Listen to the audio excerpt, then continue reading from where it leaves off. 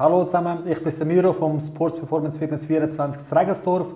Ein weiteres Produkt aus unserem Online-Store. Das ist der Booster C4. Es gibt zwei verschiedene Arten von C4. Ein Original für die Leute empfehlenswert, die noch nie mit einem Booster zusammengearbeitet haben. Lange das Führung. Oder halt die, die früher schon mal einen Booster hatten. Das Nachfolgeprodukt ist C4 Ultimate. Der Unterschied zwischen diesen zwei, zwei Boosters ist, der größere Vitamin C und Koffeingehalt im Ultimate. Okay? Ähm, was macht das?